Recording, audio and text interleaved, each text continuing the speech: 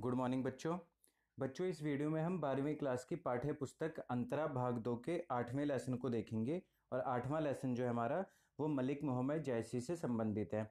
मलिक मोहम्मद जैसी भक्ति काल के सूफी काव्य धारा के एक प्रतिनिधि कवि हैं और ये बहुत महत्वपूर्ण कवि हैं सूफी काव्य धारा के और इनको आपकी सिलेबस में शामिल किया गया है। इस वीडियो में हम मलिक मोहम्मद जायसी के जीवन परिचय पर चर्चा करेंगे। मलिक मोहम्मद जायसी के जीवन परिचय पर चर्चा स्टार्ट करने से पहले मैं आपको हिंदी साहित्य के विकास के बारे में या हिंदी साहित्य के एक हज़ार साल के इतिहास के बारे में आपको थोड़ा सा बताना चाहूँगा, जिससे आपको फिर मलिक मोहम्मद जायसी के जीवन परिचय को समझने में बहुत आसानी होगी। तो सबसे पहले हम आते हैं हिंदी साहित्य का जो इतिहास है, उसको कितने कालों में विभाजित किया गया, इस चीज़ को हम देख लेते हैं। तो हिंदी साहित्य का जो इतिहास है वो लगभग एक हज़ार साल का इतिहास है और इसको हम चार कालों में विभाजित करते हैं। पहला काल है हमारा आदिकाल, दूसरा भक्ति काल तीसरा रीतिकाल और चौथा आधुनिक काल है। और इन कालों के अंतर्गत भी अलग अलग तरह की काव्य धाराएँ विकसित हुई, अलग अलग तरह की रचनाएँ लिखी जाती रहीं। जैसे आदिकाल में पाँच तरह की काव्य धाराएँ देखने को मिलती हैं भक्ति काल में चार तरह की हैं। रीति काल में तीन तरह की काव्य धाराएँ विकसित हुई और आधुनिक काल में भी लगभग छः से सात प्रकार के काव्य धाराएँ विकसित हुई। अभी काव्य धारा या रचना को हम डिवाइड कैसे करते हैं? तो इनकी जो प्रवृत्तियाँ होती हैं, समय के साथ साथ साहित्य के स्वरूप में बदलाव आता जाता है, साहित्य के विषय वस्तु में बदलाव आता जाता है, जिसके कारण हम उसको अलग अलग कैटेगरी में डिवाइड कर देते हैं। अब हम यहाँ बेसिकली जो चर्चा करेंगे वो हम भक्ति काल की करेंगे, क्योंकि हमारे जो कवि हैं, मलिक मोहम्मद जायसी वो भक्ति काल के ही कवि हैं। भक्ति काल जो है, वो चार काव्य धाराओं में विभाजित किया गया है।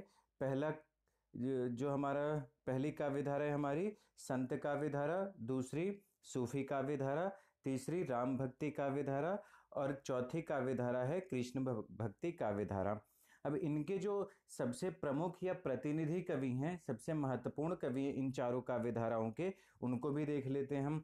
जैसे संत काव्य धारा के जो प्रतिनिधि और सबसे महत्वपूर्ण कवि हैं, वो कबीर जी हैं। इनका नाम आप सभी ने सुना होगा। तो कबीर जो हैं, वो भक्ति काल के कवि हैं और भक्ति काल में भी संत काव्य धारा के कवि हैं। इनको हम इसलिए संत कबीर भी कहते हैं, क्योंकि ये एक संत भी थे और एक समाज सुधारक भी थे ये। दूसरी जो महत्वपूर्ण काव्य धारा है, वो है सूफी काव्य धारा सूफी काव्य धारा में मलिक मोहम्मद जायसी इसके सबसे महत्वपूर्ण कवि हैं, जिनके बारे में हम अभी पढ़ेंगे और जो आपके सिलेबस में भी है। तीसरी महत्वपूर्ण काव्य धारा है राम भक्ति काव्य धारा और इनके सबसे महत्वपूर्ण कवि हैं तुलसीदास, जिन्होंने रामचरित मानस की रचना की थी। तो राम भक्ति काव्य धारा में जितने भी राम भक्त थे, जिन्होंने राम जी को केंद्र में रख के अपनी रचनाएँ या कविताएँ लिखी उन, वे सारे कवि जो हैं, वो राम भक्ति काव्य धारा के अंतर्गत आते हैं। ऐसे ही सूरदास हैं। सूरदास जो है, वो कृष्ण भक्ति काव्य धारा के प्रमुख कवि हैं। तो कृष्ण भक्ति काव्य धारा नाम से ही पता है तो कृष्ण को केंद्र में रख के जितने भी कवियों ने अपनी कविताएँ लिखी हैं, वे सभी कवि जो हैं, वो कृष्ण भक्ति काव्य धारा के अंतर्गत आते हैं। अब हम आते हैं सूफी काव्य धारा के पर क्योंकि हमारा टॉपिक यही है तो सूफी काव्य धारा जो है, इसका एक दूसरा नाम भी है, वो नाम है प्रेमाश्रयी काव्य धारा प्रेम आश्रयी काव्य धारा मतलब जो प्रेम पर आश्रित है मतलब इसमें प्रेम को बहुत अधिक महत्व दिया गया है। तो सूफी काव्य धारा का दूसरा नाम क्या है? प्रेमाश्रयी काव्य धारा मलिक मोहम्मद जैसी किस धारा के कवि हैं? सूफी काव्य धारा के कवि हैं। और इनकी सबसे महत्वपूर्ण रचना कौन सी है? पद्मावत। पद्मावत इनकी सबसे महत्वपूर्ण रचना है, जिसके कारण ये पूरे देश में, पूरे विश्व में प्रसिद्ध हैं। और पद्मावत के आधार पर ही जो एक आपने सुना होगा पद्मावती मूवी जो बनाई गई है, वो पद्मावत की कहानी के बेस पर ही बनाई गई है। पद्मावत एक महाकाव्य, इसमें राजा रतन सेन और रानी पद्मावती के संपूर्ण जीवन को दिखाया गया है। और इसी में से लगभग चार से पाँच छंद आपके सिलेबस में लगे हैं, जिसका टाइटल दिया गया बारह मासा। बारह मासा जो है, वो पद्मावत के चार या पाँच छंदों का एक विषय है जो आपके सिलेबस में ऐड किया गया है। तो बारह मासा का मतलब है बारह महीने। बारह का मतलब आप सबको पता है बारह, और मासा का मतलब है महीने मतलब बारह महीने। तो ये आपके सिलेबस में है बारह मासा। अब आपको पता लग गया होगा कि बारह मासा जो है, वो कहाँ से लिया गया है? पद्मावत से लिया गया है। और पद्मावत किसकी रचना है? मलिक मोहम्मद जायसी की रचना है। मलिक मोहम्मद जायसी किस धारा के कवि हैं? तो सूफी काव्य धारा के कवि हैं। और सूफी काव्य धारा किस काल के अंतर्गत आता है? तो सूफी काव्य धारा भक्ति काल के अंतर्गत आता है। अब ये सारी चीज़ें आपको पता लग गई तो आप जीवन परिचय में चार से पाँच लाइन बड़ी ही आसानी से लिख सकते हैं। अब हम आते हैं अपने सेकंड पॉइंट पे, वो है हमारा सूफी कवियों की विशेषताएँ। अब हमें ये तो पता लग गया कि सूफी कवि किस किस धारा के कवि हैं या किस काल के कवि हैं। अब हम ये देख रहे थे उनकी विशेषताएँ क्या थीं, जिसके कारण वो अन्य काव्य धाराओं के कवियों से अलग हुए हैं। तो इस धारा के कवियों ने ईश्वर से मिलने का आधार प्रेम को माना है, जो मैंने आपको पहले भी बताया कि इस धारा का दूसरा नाम ही प्रेमाश्रयी काव्य धारा है। जो प्रेम पर आश्रित है। तो इन्होंने ईश्वर से मिलने का आधार क्या माना? प्रेम को माना। तो ये इनकी सबसे महत्वपूर्ण विशेषता है। दूसरी महत्वपूर्ण विशेषता कौन सी है? इस काव्य में विरह और रूप सौंदर्य का उच्च कोटि का वर्णन है। या इसमें विरह और रूप सौंदर्य का वर्णन उच्च कोटि का है। उच्च कोटि, उत्कृष्ट कोटि मतलब बहुत ही अच्छे स्तर का इनका रूप सौंदर्य का वर्णन है और विरह का।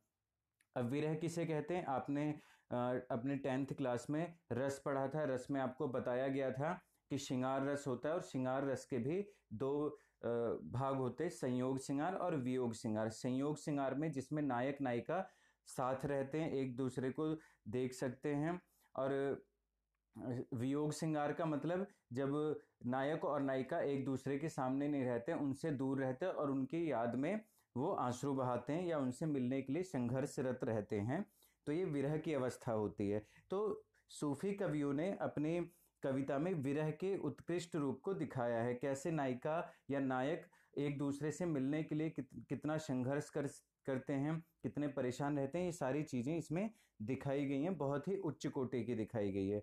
और रूप सौंदर्य मतलब इसमें नायिका के रूप सौंदर्य का बहुत ही उत्कृष्ट वर्णन किया गया। उनके सौंदर्य का बहुत ही उच्च कोटि का वर्णन हमें इनमें मिलता है। तो सूफी काव्य धारा की दो विशेषताएँ, विरह की विरह श्रृंगार जो है या वियोग श्रृंगार जो है या विरह का उच्च कोटि का वर्णन है। दूसरा, रूप सौंदर्य का वर्णन भी उच्च कोटि का है।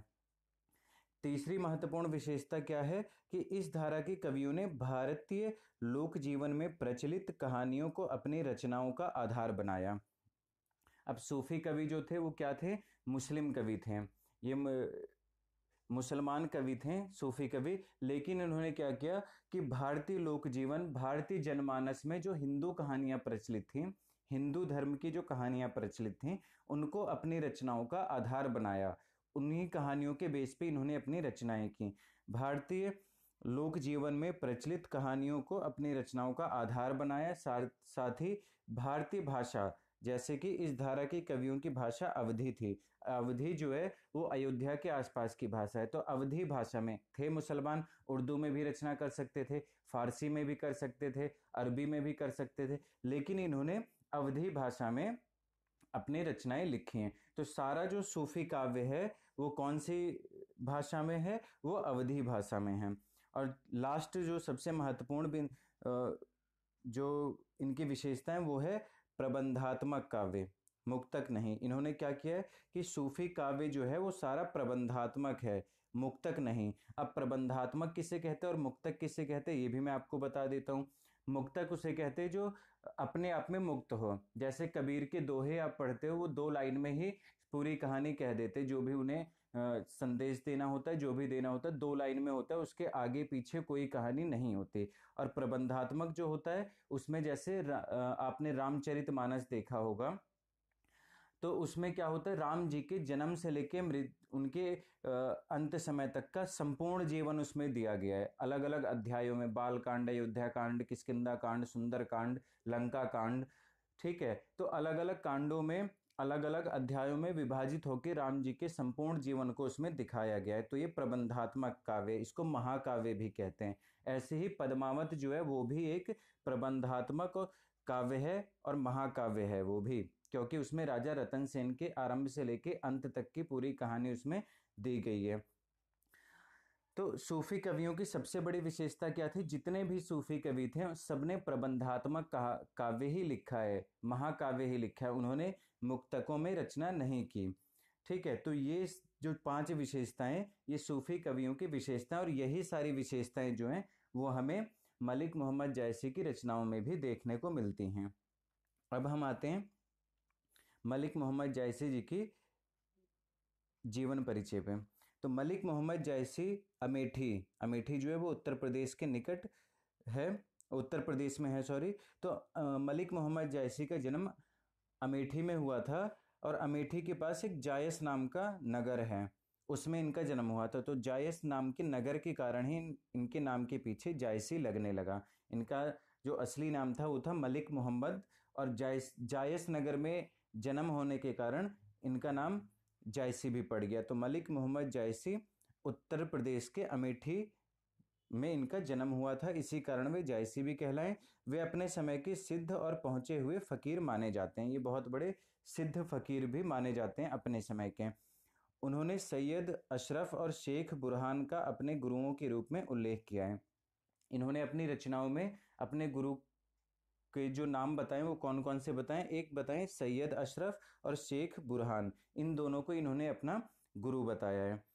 अब जायसी सूफी प्रेम मार्गी शाखा के सर्वश्रेष्ठ कवि माने जाते हैं, जो मैंने आपको बताया कि किस काव्य धारा के हैं ये? सूफी काव्य धारा के और प्रेम मार्गी भी इसे कहते हैं। प्रेमाश्रय काव्य धारा या प्रेम मार्गी शाखा भी इसे कहते हैं। तो जायसी जो हैं वो सूफी काव्य धारा के या प्रेम मार्गी काव्य धारा के या प्रेमाश्रयी काव्य धारा के सर्वश्रेष्ठ कवि माने जाते हैं। उनकी पद्मावत, प्रेमाख्यान परंपरा का सर्वश्रेष्ठ प्रबंध काव्य उनकी रचना जो है पद्मावत वो प्रेमाख्यान मतलब प्रेम की जो आ, प्रेम का जो आख्यान है प्रेम की जो कथा है उस परंपरा का सर्वश्रेष्ठ महाकाव्य है या सर्वश्रेष्ठ प्रबंध काव्य है। भारतीय लोक कथा पर आधारित इस प्रबंध काव्य में ये जो पद्मावत है इसमें क्या है ये भारतीय लोक कथा पर आधारित है जो मैंने आपको बताया कि सूफी कवि क्या करते थे? भारतीय लोक लोक जनमानस में जो कथाएँ प्रचलित थी उसके आधार पे वो प्रबंध काव्य लिखते थे। तो यहाँ वही बताया गया है कि भारतीय लोक कथा पर आधारित इस प्रबंध काव्य में सिंघल देश की राजकुमारी पद्मावती। पद्मावती कहाँ की रानी थी? सिंघल देश की। रा, राजकुमारी पद्मावती और चित्तौड़ के राजा। चित्तौड़ जो राजस्थान में वहाँ के राजा रतन सेन के प्रेम की कथा है। तो किसकी प्रेम कहानी है ये? या किसकी प्रेम कथा है? सिंगल देश की राजकुमारी पद्मावती और चित्तौड़ के राजा रतन सेन की प्रेम कथा है ये। जायसी ने इसमें लौकिक कथा का वर्णन इस प्रकार किया है कि अलौकिक और परोक्ष सत्ता का आभास होने लगता है। अब मलिक मोहम्मद जायसी ने इस लौकिक कहानी, इस प्रेम कहानी को इस प्रकार इसका वर्णन किया है कि लौकिक कहानी होते हुए भी, सांसारिक प्रेम कहानी होते हुए भी वो ईश्वरीय सत्ता से मिलने का एक मार्ग बताती है कि हम ईश्वर को कैसे प्राप्त कर सकते हैं। जैसे इसमें बताया गया है कि राजा रतन सेन पद्मावती को पाने के लिए कितना संघर्ष करता है, कितने मुश्किलों का सामना करते हुए अंत में उसको प्राप्त करता है। ठीक है, ऐसे ही ईश्वर को प्राप्त करने के लिए भी जो जीव होता है जो आत्मा रूपी हमारे जीव है, वो परमात्मा को प्राप्त करने के लिए बहुत संघर्ष करता है। तो ये कहानी एक तरह से लौकिक कहानी होते हुए भी ईश्वरी कहानी के रूप में बदल जाती है। ये कला मलिक मोहम्मद जायसी की है। इस वर्णन में रहस्य का गहरा पुट भी मिलता है। प्रेम का यह लोकधर्मी स्वरूप मानव मात्र के लिए प्रेरणादायी है। अब प्रेम का ये जो लोक धर्मी स्वरूप इन्होंने दिखाया है कि प्रेम पूर्वक रहना हर आ, हर संसार में जितनी भी चीज़ें हर चीज़ के साथ जीव जंतु पशु पक्षी सबके साथ प्रेम से रहना ये सारी चीज़ें हमें आ, ये मलिक मोहम्मद जैसी की रचना पद्मावत से हमें यही प्रेरणा मिलती यही सीखने के लिए सीख हमें इसमें मिलती है। अब ये जो रचनाएँ ये फारसी की मसनवी शैली में रचित है। फारसी की एक शैली है, फारसी भाषा की मसनवी शैली। मसनवी शैली में क्या होता है कि महाकाव्य के आरंभ करने से पहले जब उसे लिखना स्टार्ट करते हैं तो सबसे पहले ईश्वर, ईश या पैगंबर की स्तुति की जाती है। कुछ छंद ईश्वर की स्तुति के लिए लिखे जाते हैं। तो यही शैली क्या कहलाती है? मसनवी शैली कहलाती है। और मसनवी शैली किस भाषा की शैली है? ये फारसी भाषा की शैली है। तो फारसी की मसनवी शैली में रचित यह काव्य यह काव्य यह इस काव्य मतलब पद्मावत पद्मावत भी मसनवी शैली में रचित है। तो फारसी की मसनवी शैली में रचित पद्मावत की कथा सर्गों या अध्यायों में बटी हुई नहीं है। जैसे मैंने आपको बताया, रामचरित मानस अनेक अध्यायों में विभाजित है। बाल कांड है, अयोध्या कांड है लंका कांड है, सुंदर कांड है, अरण्य कांड है, लेकिन पद्मावत जो है वो अलग अलग अध्यायों में नहीं बटी हुई है। ये सीधे स्टार्ट होती कहानी और अंत तक एक ही उसमें चलती जाती है। अलग अलग अध्यायों में नहीं बटी हुई है और ये कथा बराबर चलती रहती है। स्थान स्थान पर शीर्षक के रूप में घटनाओं और प्रसंगों का उल्लेख अवश्य है। अब जग, कुछ कुछ जगह पे क्या होता है कि घटनाओं के आधार पर ही ऊपर टाइटल दे दिया गया है। शीर्षक मतलब टाइटल होता है। तो घटनाओं के आधार पर ही शीर्षक दे दिया गया है और वैसे कोई भी पूरी जो महाकाव्य वो अलग अलग अध्यायों में विभाजित नहीं है। जायसी ने इस काव्य के लिए दोहा चौपाई की शैली अपनाई है। अब इसमें इन्होंने दोहा और चौपाई, जो कि छंद है, आपने छंद में पढ़ा होगा तो दोहा और चौपाई को एक साथ रख के इस काव्य की रचना की है। भाषा उनकी ठेठ अवधि है, जो कि मैंने आपको बताया कि अवधि जो है, वो अयोध्या के आसपास की भाषा है।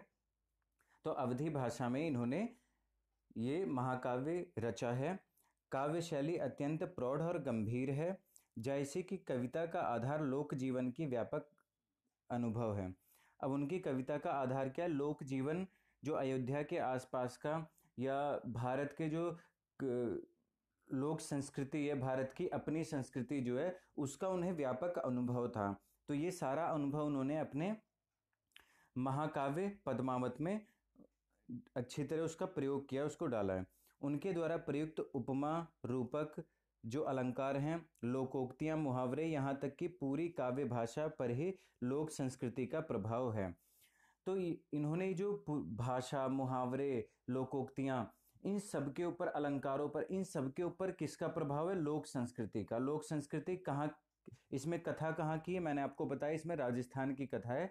तो इसमें राजस्थान की पूरी संस्कृति हमें देखने को मिलती है। इसमें भाषा लोकोक्तियाँ अब कुछ मुहावरे आपने देखा होगा कि आ, मुहावरे भी स्थान स्थान के आधार पर बदलते जाते हैं। राजस्थान में कुछ अलग मुहावरे होंगे हरियाणा में अलग मुहावरों का प्रयोग होता होगा अयोध्या की साइड अलग मुहावरों का प्रयोग होता होगा।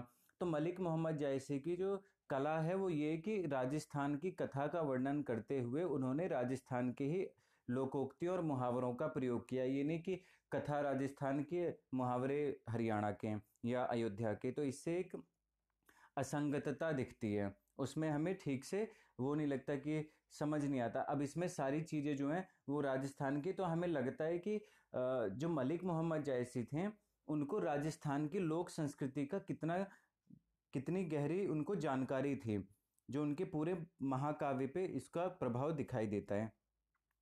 तो उनकी लोग पूरी काव्य भाषा पर लोक संस्कृति का प्रभाव है, जो उनकी रचनाओं को नया अर्थ और सौंदर्य प्रदान करता है। सौंदर्य मतलब सुंदरता। तो उनके पूरे महाकाव्य को, जो कि एक सुंदरता प्रदान करता है, उनकी जो लोक संस्कृति का ज्ञान और उसका प्रभाव, सारा हमें जो पद्मावत है, उस पर देखने को मिलता है। अब इनकी प्रमुख रचनाएँ पद्मावत, जो कि आपको पता ही है, अखरावट, आखिरी कलाम। ये तीन इनकी सबसे महत्वपूर्ण रचनाएँ, इससे आप याद कर लें। अगर ये तीनों आप पेपर में लिख देते हैं तो भी बहुत होगा। तो पद्मावत, अखरावट, आखिरी कलाम तीन, दो तीन बार आप इसे रिपीट करेंगे, पद्मावत, अखरावट, आखिरी कलाम तो आपको याद हो जाएगा। जैसी कि प्रमुख काव्य कृतियाँ हैं, जिनमें पद्मावत उनकी प्रसिद्धि का प्रमुख आधार है। मैंने बताया आपको कि किसके कारण, किस रचना के कारण, किस महाकाव्य के कारण जो मलिक मोहम्मद जायसी हैं, बहुत फ़ेमस हैं तो वो है पद्मावत। और पद्मावत के बेस पर ही आपने ये महाकाव्य पढ़ा नहीं है। अगर आप इसके बारे में थोड़ा भी जानना चाहते हैं तो आप पद्मावती मूवी देख सकते हैं। पूरी स्टोरी जो है, लगभग वो पद्मावत महाकाव्य से ही ली गई है। तो बच्चों, इसमें हमने इस वीडियो में हमने मलिक मोहम्मद जायसी के जीवन परिचय के बारे में चर्चा किया। अगर आपको कुछ भी समझ ना आया हो, आप मुझसे फ़ोन पे बात कर सकते हैं, ग्रुप में आप कमेंट कर सकते हैं। इस वीडियो के अंत में भी आप जो नीचे कमेंट बॉक्स है, वहाँ भी कमेंट कर सकते हैं। आपको रिप्लाई मिल जाएगा हर जगह। फ़ोन करके आप डिस्कस कर सकते हैं। जो भी आपकी क्वेरी हो, आप उसे लिख लेना। आप जब भी आपके पास टाइम हो, आप मुझसे पूछ सकते हैं। और नेक्स्ट वीडियो में बच्चों, हम इनके जो छंद हैं, जो बारह मासा हमारा लेसन है, उसको हम स्टार्ट करेंगे और उसकी व्याख्या हम देखेंगे। उससे पहले अगर आप इसके बारे में थोड़ा सा उसकी एक रीडिंग ले लेंगे तो आपको काफ़ी चीज़ें समझ आ जाएँगी।